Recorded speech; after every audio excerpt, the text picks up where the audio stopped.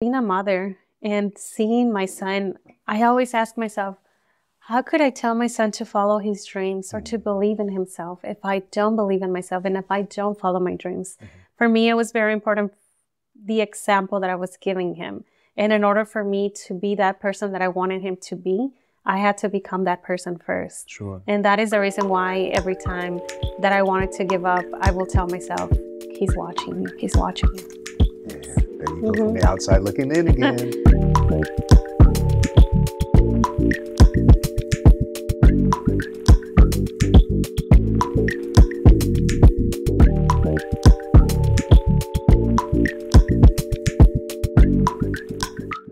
Welcome back to the Same Business, Different Day podcast. I'm your host, Zeke Corley, here at the Film Hub, and it's springtime in Vista, California, so it is beautiful. It's hard to be inside, but it's great to be inside when you have such wonderful people sitting next to you as I do today.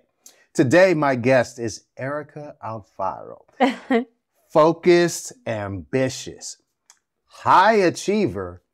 What did we also talk about? also very inquisitive, inquisitive which is a good yes. thing too. We're talking about good qualities of good people, and uh, you guys are going to be really wowed by this story that we've got today. So I am so happy to welcome Erica Alfaro to the show. Uh, thank you. Thank you. It's an honor for me to be here today. Absolutely. And I am very grateful for your time. Oh, man. Yeah. my time. Thank you for taking your time. Now, yeah. you have an amazing story, like I said. And um, I mean, we, but, and we love to tell the story, right? Mm-hmm. That's what we're all about, is telling the stories because, as you know, because you do actually inspire and mentor others, you know that your story is very important for others to hear yes. because they may be in the same position. They may be in a difficult position in life.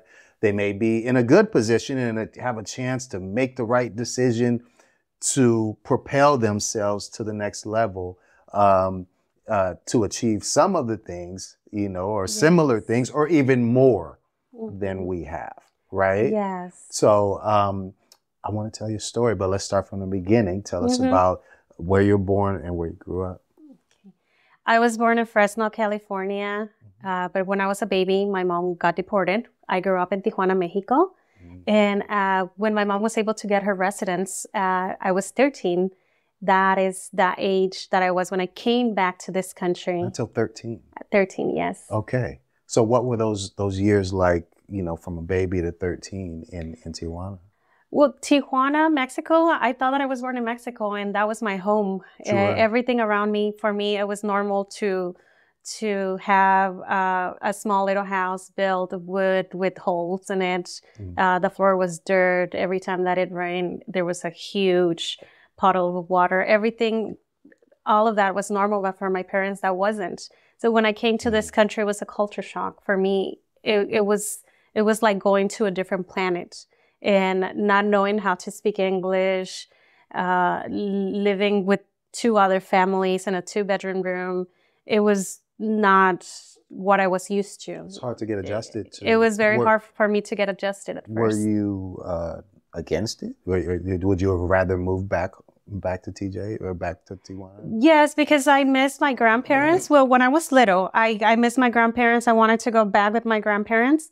Uh, but I knew that there was a reason why we came back to this country, and that was because my parents wanted us to have a better education, to have an education, something that they never had. Mm-hmm. My parents never had the opportunity to go to school. They don't know how to read or write, and they wanted to give us that opportunity. We knew that we were that we came to this country for a reason. Sure. And for me, it was going back was not an option. Mm-hmm. It was for me like getting used to the idea that this was my new reality what were you learning in Tijuana? Like, were you were you being educated? Did you know how to read and write, at least in Spanish? What? Yes. when I was in Tijuana, I was in the third grade. Um, it, I was not the smartest. My brother was always smarter than me. I was always a grade behind or two grades behind. I was the the student that was always distracted, the student that always asked a lot of questions, that questioned everything. Mm-hmm. Um, but I, I'm still like that. I'm still like that. Um, but in Tijuana, I already had my friends, my neighbors, my grandparents. Uh, that my school. I, I wanted to to be part of the band. I wanted to be part of the group, but I was not allowed to because my grades were not good enough for me to be in the band. Uh, but that was that was my school. That was my comfort zone. I, I really love studying in Mexico. That's awesome. Mm-hmm. So the band, you um, did you have aspirations to be a musician when you grew up, or what did you think you might be when you grew up? I wasn't sure, but I remember that when I was in, in Mexico, when I was in school, there was a time when the teacher asked for a volunteer to memorize a poem for Mother's Day.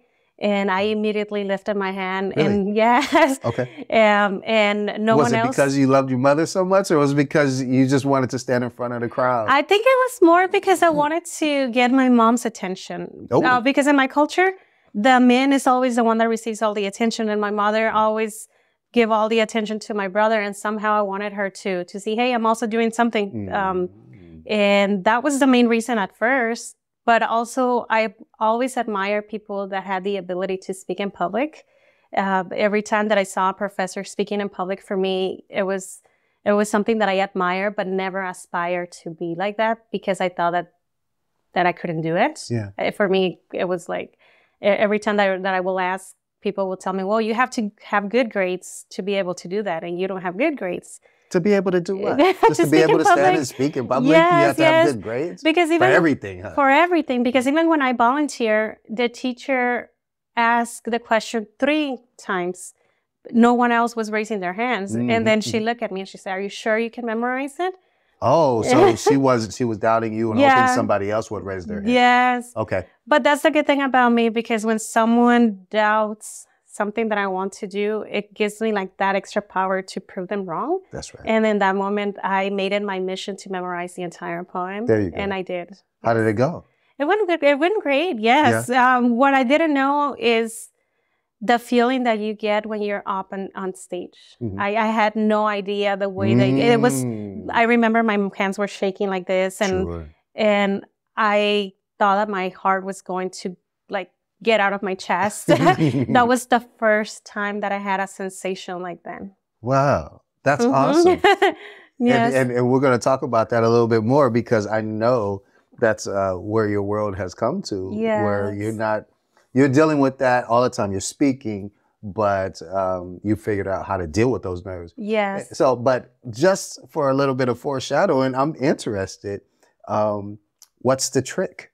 Like, have you figured out that that quote unquote anxiety is actually positive energy. It means that you care and you and you use it, you know, towards the crowd. How do, how do you deal with it? Well, at first, I thought that eventually the anxiety or the feeling that you have before going up on stage was going to eventually subside, mm-hmm. but it doesn't. It's mm-hmm. always there. And what I learned is that it's not about me, it's about the message and the person that I'll be speaking to. Mm-hmm. So when I center myself and I tell myself, someone out there needs to hear this message, yeah. it's like if you go with a different feeling, like you feel empowered.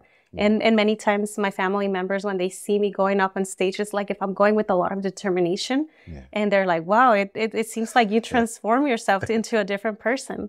And Beautiful. that that's what I learned uh, to do now. That I I always tell myself this is this message is for someone else. Beautiful. Okay, so mm-hmm. you moved from TJ to Oceanside. Yes. okay, so then what's that transition like? You like you said, you didn't speak English. Yeah. Um, there are Spanish speaking people in Oceanside, of yes. course, when you moved in, but at the same time, like you're trying to get involved and engulfed in the culture. Mm-hmm. How how was that for you? Well, initially, when I started school again, I wasn't doing good in school, mm-hmm. and I didn't know how to speak English. I was in the ELD program. So you were in the program. I was. I've in, heard of. Yes. I'm only interrupting you because I've actually heard of people being immersed in like you don't even get to get in the program even though you don't speak English, we're just going to drop you in the English classes yeah. and you figure it out. And so it's forced on you. It, but at least is. you had a program where it was a little bit of a transition. It was half and half. The ELD program is for English uh, learning students, and so most of the students in that classroom speak Spanish. Mm-hmm but the teachers speak English, and mm. somehow they they they want to put you in a situation where you have to learn. Mm. But since you're surrounded by other people that only speak Spanish, you tend to goof around Um, uh, people, I remember that in my classes, they would put us a movie and then they will leave, let us just be. So it was not like. But they're not setting you up for success. No, no, they don't set you up for success, or there's no role models. There's no one that will come and tell you, hey, you can get a career.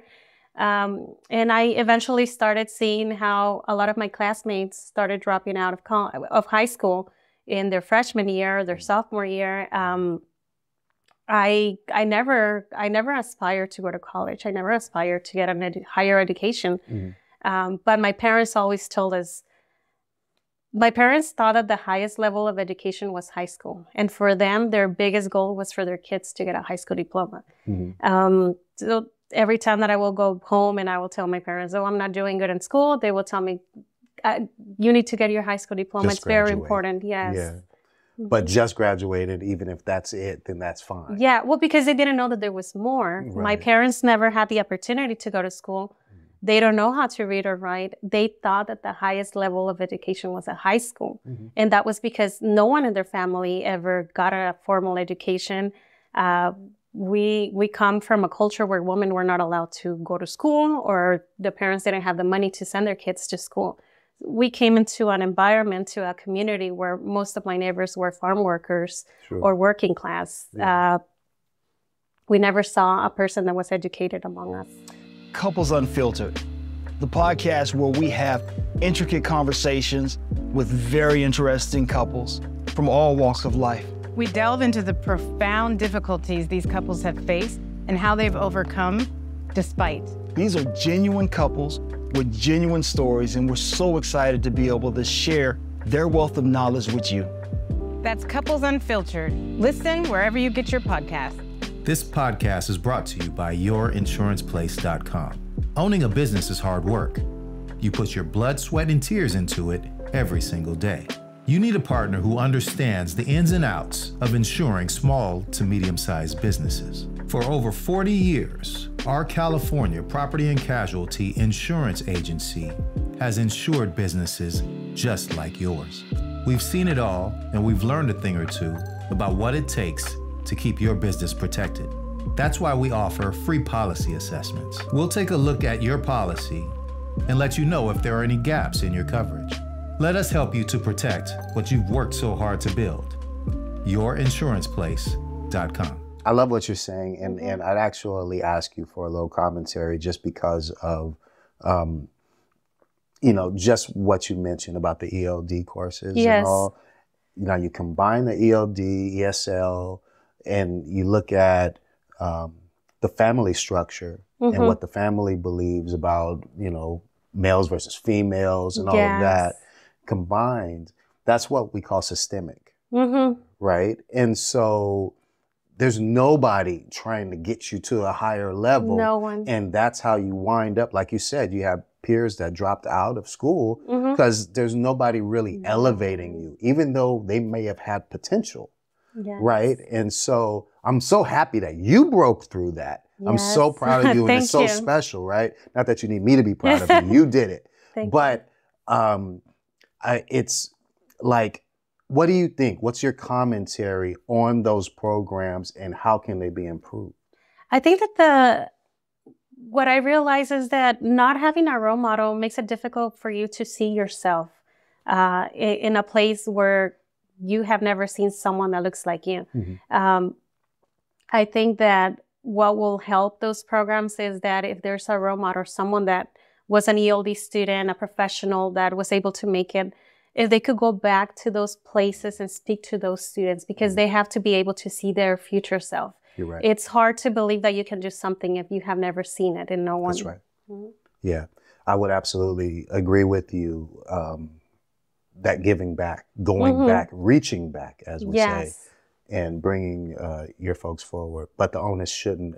I don't think the onus should be all on our own selves, yes. I do think that the programs have to be recalibrated, in yes. my opinion, in order to realize that and then maybe even go find those people and involve them and incorporate them into the program. Yes. But that's my comment. No, and I agree with you because uh, something that I, I always tell teachers when I visit them is that you have to believe in your students so that they can believe in, in themselves if you don't believe in them, if you just put a movie for them to watch, if you just go to work just uh, to get a paycheck, if you don't, if you truly don't put your heart in it, mm. they will not be able to see the potential that they have. Mm-hmm. And that that is very important because the reason why I was able to make it this far is because Mr. Lee, my teacher, saw something in me that I couldn't see.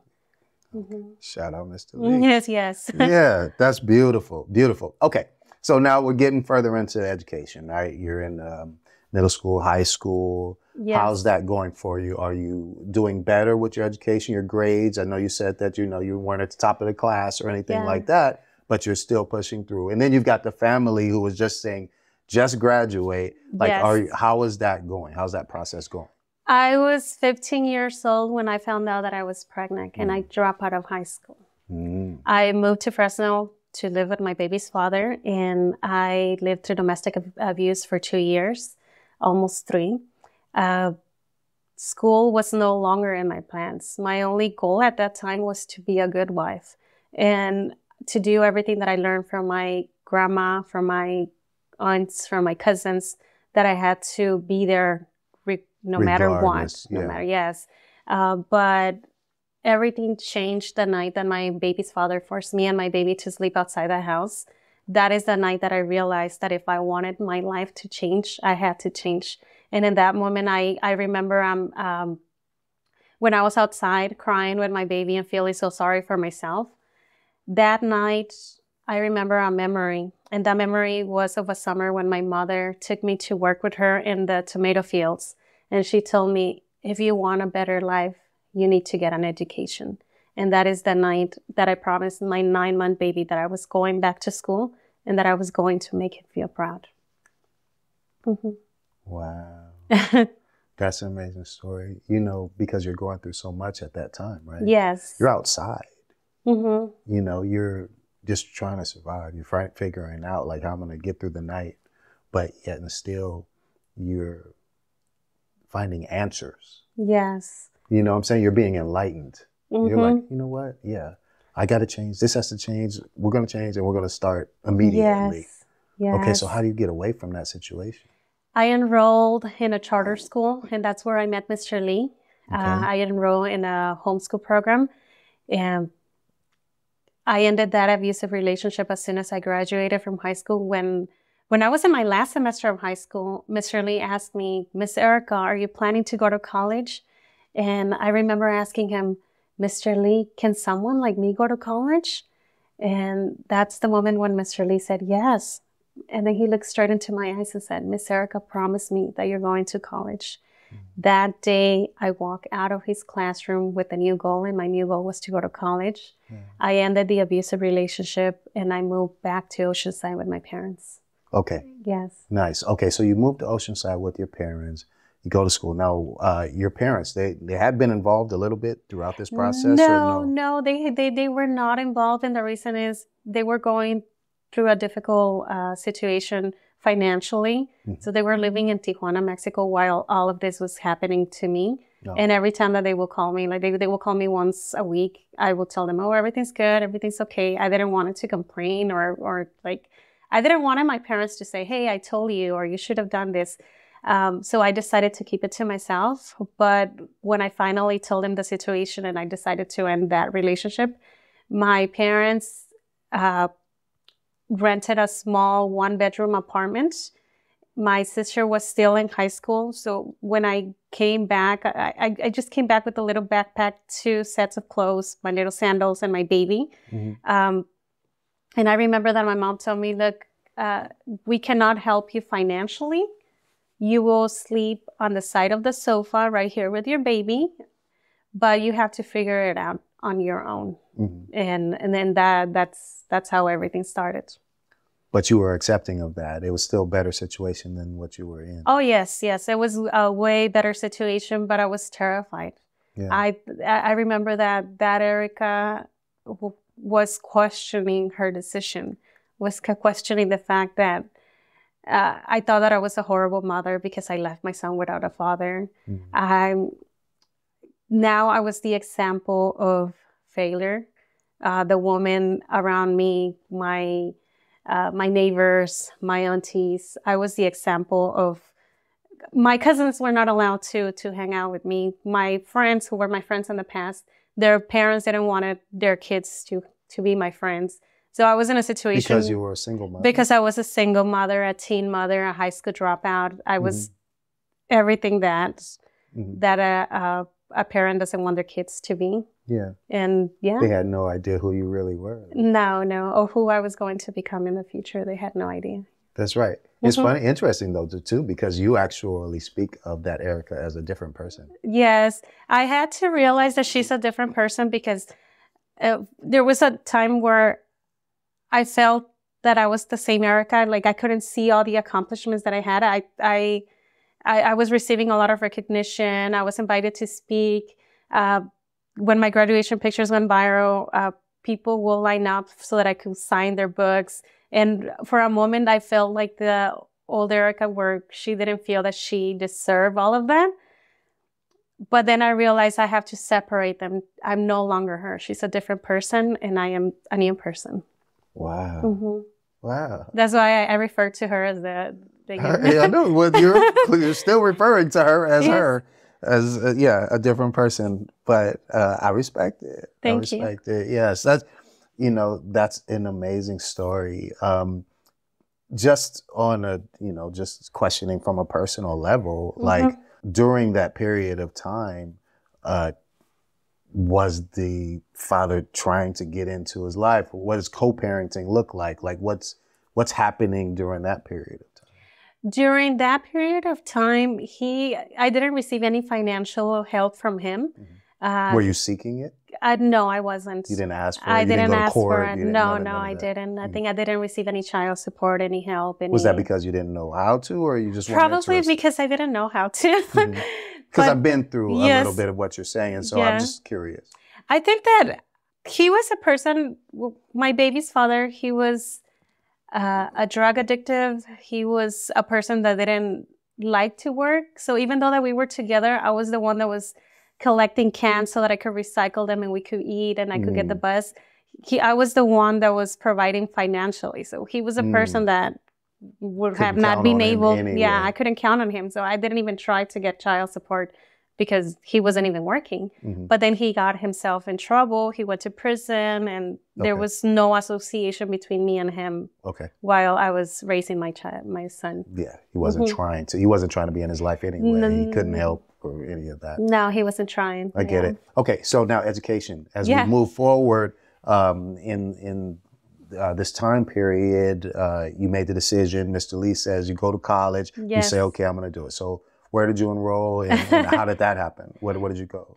I enrolled in Miracosta Community College. Mm-hmm. That's where my son goes now. Oh, okay. So. I love Miracosta. Mm-hmm. When I, I remember when I started the first day of class in in camp in Miracosta College. When I walk into the campus, I felt so little, and for a moment, I felt the imposter syndrome. I was like, "Oh my gosh, Mr. Lee is such a nice person that he what made him think that I could be a student here? Mm-hmm. When I took the placement test, my scores were very low that I had to take two non non credit English classes and mm-hmm. two non credit math classes. Mm. Um, for me, it was a little bit overwhelming because I was going through that situation of ending the abusive relationship. I sure. was going through post traumatic stress. Mm-hmm.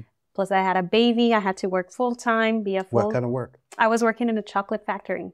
okay. Okay. I was There's packing. some happiness there, hopefully. yeah, it was uh, it was uh, a, a, work that required a lot of repetition. And when I was working at night packing the boxes, mm. I I always I always like to ask questions. So I asked the person next to me, "Hey, for how long have you been working here?" And she said, "15 years." Yeah. And I was like, doing the same thing? And she was like, yeah, exactly the same thing. And we were packing the she boxes. She probably do it in her sleep. yeah. And I was like, wow, do I want to do that? mm. So that day that I asked her that question, I was walking out of the factory and I went into the reception area and I stood there and I visualized myself there. So when I went to college during the day, I saw that as my as my goal one day I'll be a receptionist. Mm-hmm. And I saw it as a dream. And I said, if, if you get a college degree, you'll get to be a receptionist. Mm. Um, so even though that I was feeling that I didn't belong there, even though that I was feeling imposter syndrome, I, I saw myself sitting in the reception area.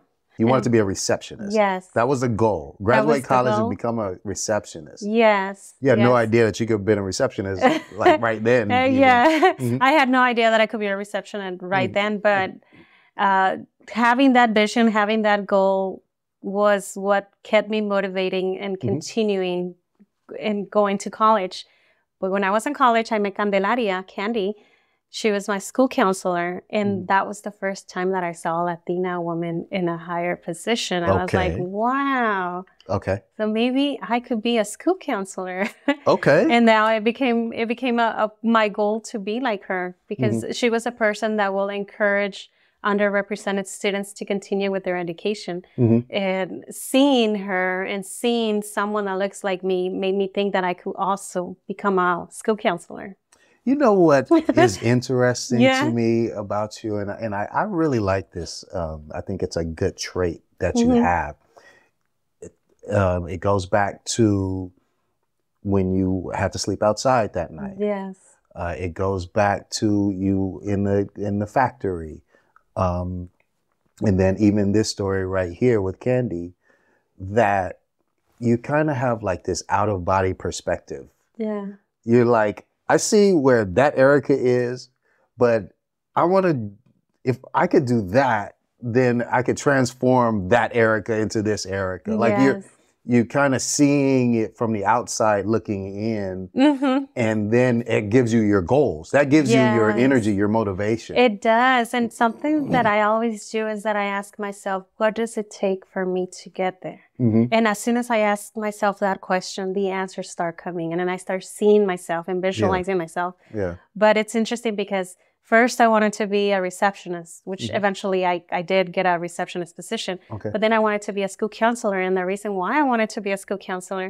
is because I wanted to encourage underrepresented Sure. students to continue with their education. 100%. Uh, now I do that as a keynote speaker. I go and speak to underrepresented students. Yeah, I love it. Okay, a couple more things about the education and um, the degrees that you went and got, and then we're going to reveal and talk about what you're doing today. So Yes. tell us a little bit what happened at Miracosta. How did you go? You know, what were the next steps, and then you know what what did you do in, in education? When I uh, when I graduated from Miracosta Community College, it was one of the happiest days of my life because everything was going according to my plans. Mhm. I was admitted at Cal State San Marcos, and I was in my first semester at Cal State San Marcos m- when my son was diagnosed with cerebral palsy. Mm. He was five years old, mm-hmm. but his speech level was of a two year old. He mm-hmm. couldn't run. And all I remember is that I just wanted to know why. And so I asked the specialist, what causes cerebral palsy? He gave me many explanations, but as soon as he said brain injury during pregnancy, my world stopped. And that was the beginning of many months of depression. I got academically disqualified from Cal, from Cal State San Marcos in 2013. Mm. Mhm. But a year and a half after, um, when I was getting my son ready for school, he asked me, Mommy, do you have a career already? Remember that every day you used to say that one day you were You going to have a career. You that- promised. yeah, I promised him that you were going to have a career, that we were going to buy a house, and that we were going to have a puppy. What happened, Mama?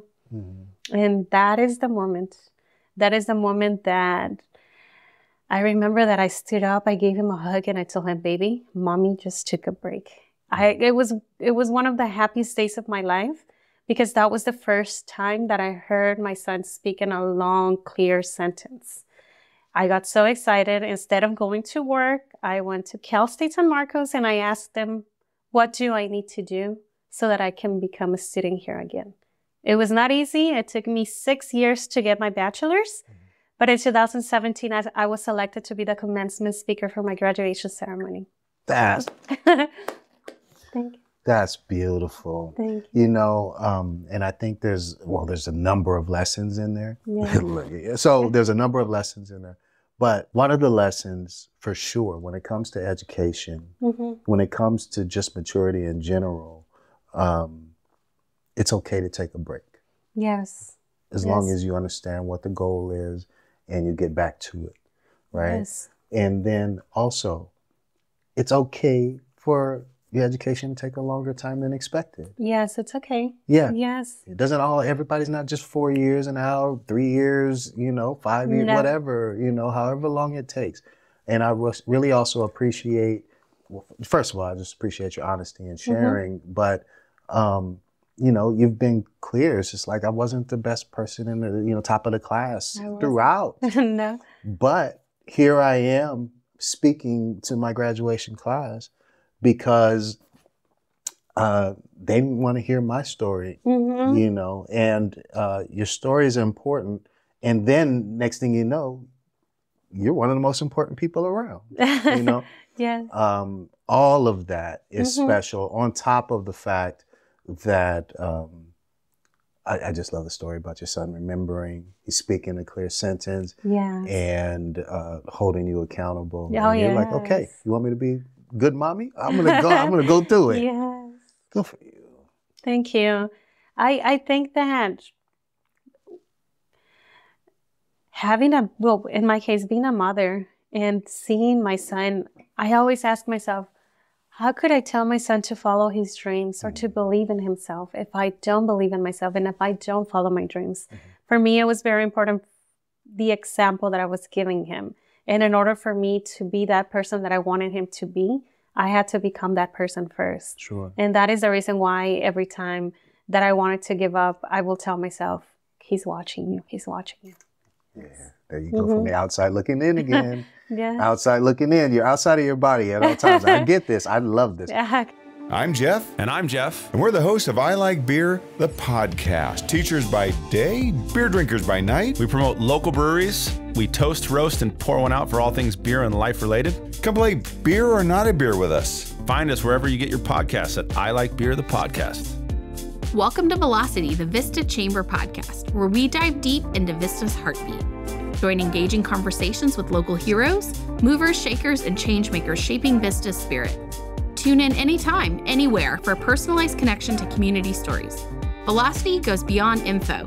It's a bridge connecting Vista's diverse voices. Hosted by me, Chamber CEO Rachel Bell. Powered by the Vista Chamber of Commerce, your go to for the heartbeat of Vista's vibrant community. Okay, so tell me more about um, uh, what degrees that you accomplished. What, what did you go get? I have an associate's degree in psychology, a bachelor's degree in psychology, a master's degree in education and counseling, and I'm going for my PhD. Thank you. Wonderful. Okay, so on to the reveal, guys. I mean, you see, you see who we're talking to right now, Erica Alfaro. And hey, let's just here's what we'll do for the reveal this time is we're just gonna just roll through a few of your awards and recognition. So Okay. um, let's talk about the International Latino Book Award. Let's talk about the letter of recognition issued by Kamala Harris, Vice President of the United States. A proclamation October 5th. Erica Alfaro's Day by the County of San Diego. Whoa, right? Um, Constituent of the Month issued by Mike Levin, U.S. Representative. Latina Leadership Award. The City of Oceanside Certificate of Recognition by the U.S. Senate. 40 Under 40 issued by Business Street. And a mural by National City.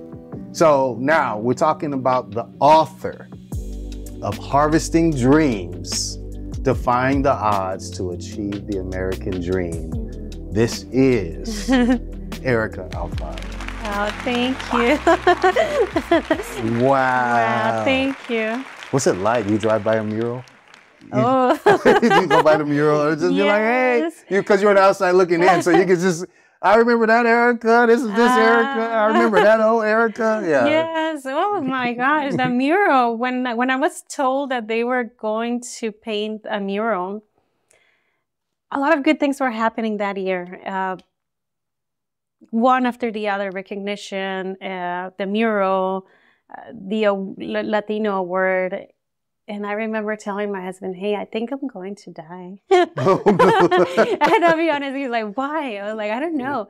My picture was also put in a museum in San Francisco permanently, so everything happened in, in less than like two weeks. Yeah. And I was like, "Oh my gosh!" Like I think something's gonna happen to Yeah, me. yeah. but now I see it. I see it in a way that the all the recognitions that I receive at I, I see it as a proof that what I thought was impossible is possible. Mm-hmm. And I see it as an example for other students.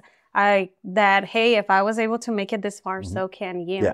Yeah, That- you keep thinking is- about the others as well. And so that's what's special about you, what's so important about Thank you. Thank you. Absolutely. The um and then and then what is it, October fifth? October Is that your day? 5th. Yes. That's your day. yes, that's what do you my do day. on that day every year? Oh, Well, that was uh, proclaimed last year in 2023, but this year in 2024 will be my first year. Oh, this will be the first time. Yes. Okay. what are you gonna do? well, I think I might. I might throw a party with my family. yes, I'll do something. I'll do something. you definitely have to. You, you mentioned um, the picture in San Francisco, um, but and you also mentioned earlier the picture that went viral. yes. Tell us a little bit about that picture, and we'll put that up. We're gonna put that up as yes. well. But okay. it's such a special picture and such a powerful image. Mhm. But tell us a little bit about it. Yes, uh, in 2019, two weeks before my graduation ceremony, I wanted to surprise my mother. I put my cap and gown. I walk into her room and I told her, Mamita, lo logramos. Mommy, we did it. We will be getting a master's degree. And my mother, who is a strong woman, who I never saw her crying when I was a child, in that moment she broke down crying. And she started saying, Mija, all those hours working in the fields, all those sacrifices were worth it. And not only that, for the first time, she told me, I'm proud of you. First time. First time. Mm, She said, I'm proud of you and I'm sorry for doubting you all mm, this time. Yeah. And then we hugged each other. And in that moment, I decided that I wanted to do something special for my parents, that I wanted to take my graduation picture in one of the fields where they work long hours to give us an education. Yeah. And that's how I decided to hire a photographer. We took the pictures. I posted the pictures on my social media. Eh, And almost overnight, it went viral, not only nation, nationwide, but internationally. Yes, Such a powerful story. yes, thank you. Beautiful. And it's a beautiful picture too. Mhm. Yeah, it's really well done. Um, yeah, I'm so happy for you. I, I'm so happy in just every way. Okay, so uh, which one of those, all of those awards that you have, which one's your favorite? My favorite, uh, my favorite, I think it's uh, the. That's a great question. No one has ever asked me, but I'm thinking about it. I'm thinking. I think it's the the Toastmasters Award, the from my club. I'm Mm. I'm a member of Toastmasters Club Sure. 47, Yeah. and when I joined Toastmasters, it was to confront my fear of public speaking. Yeah. And every year, I've been a member for seven years. Every year, I will see uh, one member receiving that award. Mhm. And I was like, oh my gosh, like that is so cool. Like, I hope that one day I could get it. I can Mhm. get it. And last year, I got it. Mhm. And I think that's my favorite one. yeah, that's awesome. Okay, so let's talk a little bit about that though, because um, you, you know you're a keynote speaker, uh, Yes. you know, a highly regarded keynote speaker and and uh, highly sought after. Yeah. um, what all goes into that? Like, Mhm. you know, obviously there are people and businesses and nonprofit organizations or schools or Mhm. whatever that want you to come speak, but what actually goes into the business of being a keynote speaker? When I started sharing my story, Mhm. I didn't know that you could get paid for that. Mhm. and the first time that I was asked, What are your speaking fees? Mhm. My answer was, Oh, no, no, no, I do it for free because it's my passion. Yeah, I've heard And- this story. before. I've heard stories like this before. Yeah. yeah, yeah. And then I remember that the person that reached out to me, she said, Oh, no, we have to pay you. We're required to pay speakers. Mhm. And in that moment, I was wondering, How much does a speaker get paid? I Google it and I was like, No way. Yeah. and I was like, You know what? I'm going to maybe say $40 because I'll be, uh, it will be during my lunchtime. So maybe $40 and that will cover You for were my still gas. working and I was. Okay. still trying to think about the the speaking fee. And Mhm. she replied and said, "How does three hundred dollars sound?" Mhm. And in that moment, I was like, "Oh my gosh, Yeah, I can't yeah. believe it." So that's how I started, and Mhm. that's that that's back in 2017. Okay. I've been speaking for the last seven years. Now, how was how how nerve wracking was that though? I mean, now you're getting paid more than you expected, and you're getting up there and you have to speak. Like you have to deliver. I mean, you Yes. feel. I mean, you probably put a lot of pressure on yourself. Oh you're like, I'm getting paid. For Oh this, yes. You know? so, yeah. How was what was the first one like? Well, I spoke for a corporation where they paid me $13,000 for a 30 minute speech, a virtual speech. Oh, okay. And I remember the pressure that I, I was putting on myself. Like, oh my gosh, I can't believe it. Like, mm-hmm.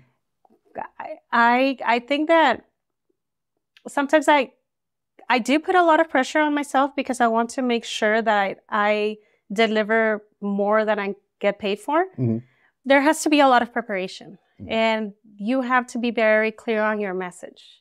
You have to also know who is the person that you will be speaking to, who's the audience. Mm-hmm. But besides that, there's a lot of paperwork, there's a lot of negotiation, planning, the traveling, the, the planning like where I have to travel, where am I staying, what am I wearing, mm-hmm. what presentation I'll be showing, what what will be the speaking fee, what will be the contract, what will be the uh, the terms, there has to be a lot of negotiation, a lot of planning, and a, a lot of preparing. Yes. And you have to be willing to constantly train. A lot of people say, "Oh, I'm a good speaker. I'm, I'm already a good speaker," but you don't go and just speak.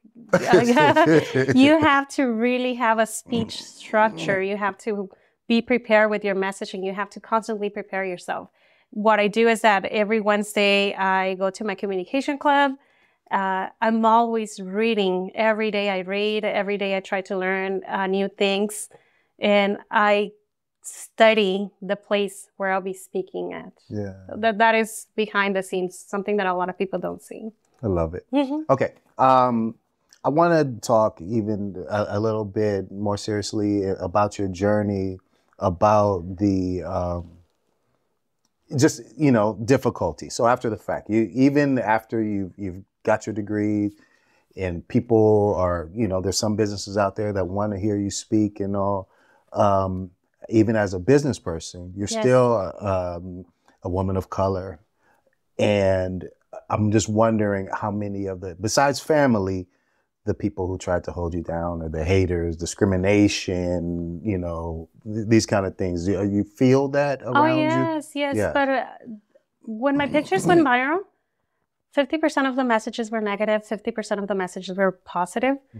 But I decided to only focus on the positive messages. And as a keynote speaker, it, as of today, I haven't been able to, to find another Latina woman speaker speaking for universities, uh, doing that as a business or as a full time job. Mm-hmm. I haven't been able to met one. And I thought that that was my biggest disadvantage because being a keynote speaker in a field that is dominated by men, especially white men, made me feel a little bit intimidated and made me feel that I had to accept less. Mm. But now I decided to switch it and I realized that being a minority, being a Latina woman, and being maybe only one of the few Latina speakers is my biggest advantage. Yeah, because if there's yeah, yeah, because it increases my value if there's not too many uh, things on the market there's really no competition. Mm-hmm. and that I, I should see it as, as my biggest advantage. And that's what i do. Beautiful. Mm-hmm.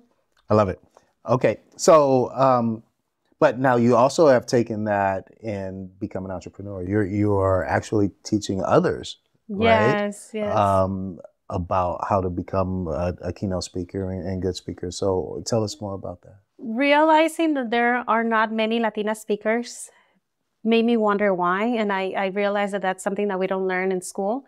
As Latinas, we are not outspoken. We so what I decided to do is that I decided to to create a program so that I could train other women or other men how to share their story so that there could be more speakers mm-hmm. because I'm usually hired to speak at 10 different events in a month or sometimes more. And I have to say no to many organizations because I cannot give two speeches in one day. You want to give the most, the, the highest quality to the yes. you're speaking to. And what I want to do is that I want to be able to refer one of the people that I train so that they could speak to the places that maybe they don't have the budget mm-hmm. to pay a speaker or they need a Latina woman speaker. Uh, mm-hmm. that's what I want to do now. That so that's that's how I decided to start harvesting dreams, yeah. my business where I train other women so that they can learn how to tell their stories. That's just smart business. Yes. That's a smart business plan.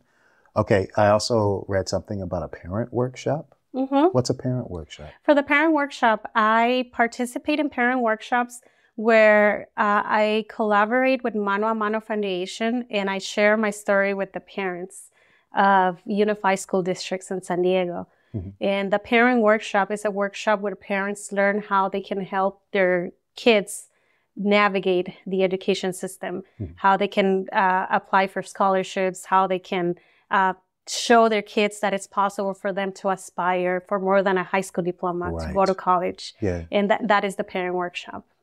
I love it. Mm-hmm. Beautiful. Okay, so now you need to, it's just time to tell people uh, how they can find you. I'm so okay. glad that you got here. I'm so glad that, uh, well, shit, I'm just so glad to hear your story. Thank you. But I'm very uh, happy for you and, and what's coming next mm-hmm. because it's clearly almost kind of just getting started. Uh, yes. Even though you've been doing this for seven years, it seems like it's kind of just getting started. Oh, so yes. I'm looking forward to the Thank future you. for you and anything that we can do to help participate.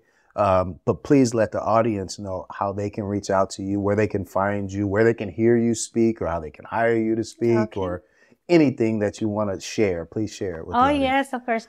Uh, I can be found. My social media is Erica Alfaro, Instagram Alfaro Erica 47. Uh, you can find more about me uh, on my website, ericaalfaro.com. And there you can see my speaking schedule as well. Beautiful. Yeah. Thanks so much. Thank you. Man, you killed it. You shared. Uh, you got me excited. I'm all emotional. I'm high fiving. I'm tearing up. You. Like it's all thank kind of you. stuff. So this was beautiful, and I'm sure that you get that with everybody that you speak to because you're an engaging speaker, very mm. intelligent. I also love your perspective because you are kind of you do have an outside looking in perspective. You see yeah. yourself even from the outside and seeing how you're being presented. Yeah. Um, you, you just have so many great qualities um, yes. And that just isn't just necessarily uh, as a Latino woman, but just because you are who you are mm-hmm. as a mm-hmm. human being. Um, yeah. And I think everybody yes. needs to hear your story. Thank so you. Thank I look you. forward to future and current, you know, future expansion. Thank you. I appreciate that. And I, I, really appreciate it. Doesn't matter how many times they tell me, it means a lot to me because it's like that extra energy that keeps me going. Keep going. To know that uh, that our stories matter, that I, that I could make a difference in another person's life. And I thank you so much. I, I, really enjoy being here. Absolutely. And at first I was like, how do you know all those accomplishments? And I was like, oh, okay, they're right there. I was like, whoa. I got a fly on the wall. but that's amazing. And also thank you for inspiring me because uh, seeing you doing it, seeing that it's very close to home, and that I can also do it, it inspires me to to also start my podcast and start interviewing other people. Let's do it. Yes, thank you. Let's do it. Thank I'm you. here for you 100%. So uh, you guys, you know how to reach us. Uh, same business, different day. Uh, you see us bi-weekly. We keep putting out great shows um, and, and talking to amazing people who have great stories to share. And they're all for you. These stories are for you. And so hopefully you guys soak some of that information in and use it for inspiration for yourself or at least share with others. Please share. Please like, please comment. We really could use that. It helps with the algorithm. It helps with our growth. And because we want to continue to do this going forward. So, uh, uh, Instagram at SameBizPod, S-A-M-E-B-I-Z-P-O-D. Um, same Business Different Day on YouTube, uh, at A Different Day Radio. We've got a lot of great content for you and a lot more coming up. So, uh, peace to you all. Thanks. Bye.